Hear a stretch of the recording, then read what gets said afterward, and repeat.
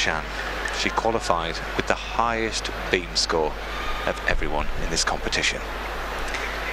Which means she's got lots of risk. lots of places she's got to be brave. Here we go.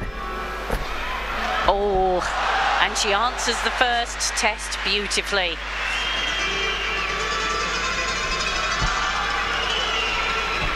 Fabulous supple body, smoothly on the links.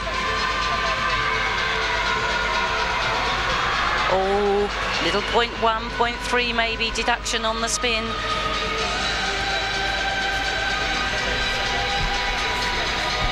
Lovely split position.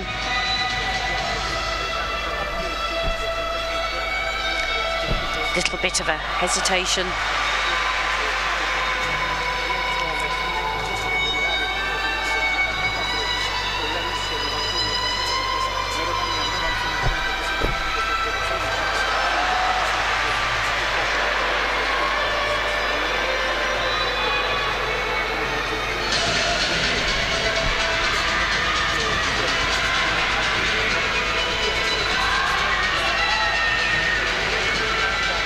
Li Shanshan is looking to make the dismount here, the highest qualifier.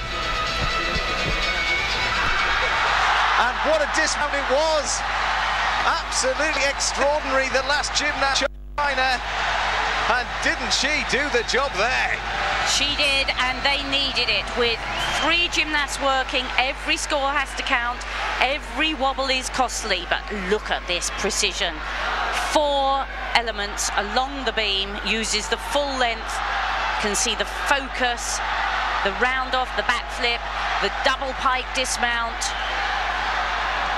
Just what they needed, packed with difficulty. But Li